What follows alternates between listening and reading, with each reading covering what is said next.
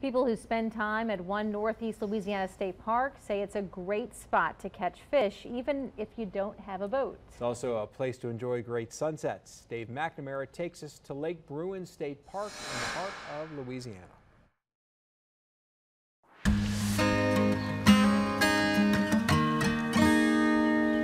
This Louisiana State Park seems like a bit of an oasis. Lake Bruin is a picturesque body of water surrounded by cypress trees, a quiet spot for camping and an exciting place for fishing. And it's tucked away in the flat farmland of the Mississippi River Delta. The fact that you have something located here that's almost like a secret, but a lot of people know about it. So we're hoping that more people share that secret to get, get others to come and enjoy it as well. As state parks go, Lake Bruin is small. It's on the site of an old fish hatchery next to the Mississippi River in northeast Louisiana. Lake Bruin is an 11 mile long oxbow shaped lake. It used to be part of the Mississippi River until the river changed course and cut it off.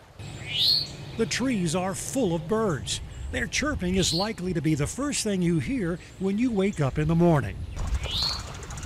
It seems the most popular activity here is fishing. Hopefully, the Lord will bless us with a good mess of fish this morning, but we hadn't had that luck so far. Dale Green of Monroe is hoping to catch enough for a fish fry. Not having a boat to fish out of, we, they got these nice docks. We, we fish off of the docks, and the bank is mowed. We can walk all along the bank here and just several places we know where the so-called sweet holes are, where the fish are, where you can always expect to get a brim.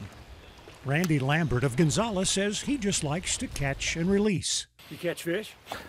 Sometimes I do. I always throw them back because they're so big. The fish are too big. that sounds like a fish fishtail. That's a little irony right there, you know. For the kids, there is a splash pad for cooling off in the warm weather and a shaded playground. It's beautiful. It, you have plenty of camping air sites. I believe it's 48. And some of those campsites are directly on the lake, making it easy to drop a line or spend time at the small swimming beach. Stella Reese and her husband are traveling from their home in California to visit relatives in Tennessee. It's gorgeous. It really is. To me, it's beautiful. It just I don't know, it's what a state park should be. And this is the place to be at sunset, relaxing on the long pier and looking between the large moss draped cypress trees as the sun slowly dips below the horizon.